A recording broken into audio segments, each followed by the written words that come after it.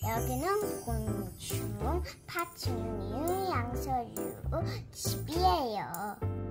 여기에 누가 들어갈지 궁금하죠, 친구들? 한번 같이 봐볼까요?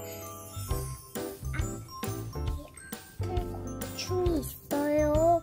여긴 너무 아픈 곤충이래요. 아픈 곤충은 토끼 선생님한테 여기 물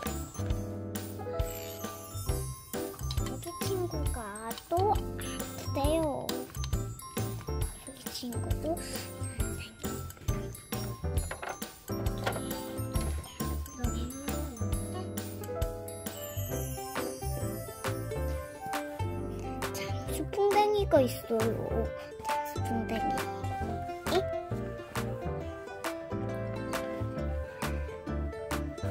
여기 사슴벌레가 있어요. 사슴벌레 엄청 멋지게 생겼죠?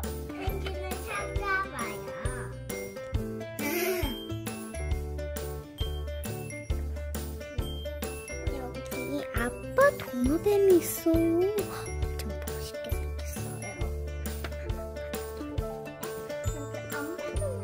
오, 여기 이거는- 있네요. 이구아노돔이에요.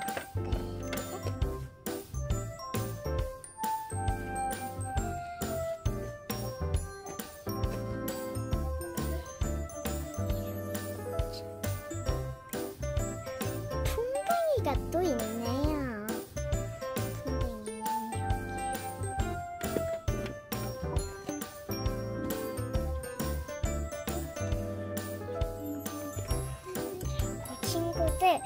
좋아요랑 구독을 눌러주세요.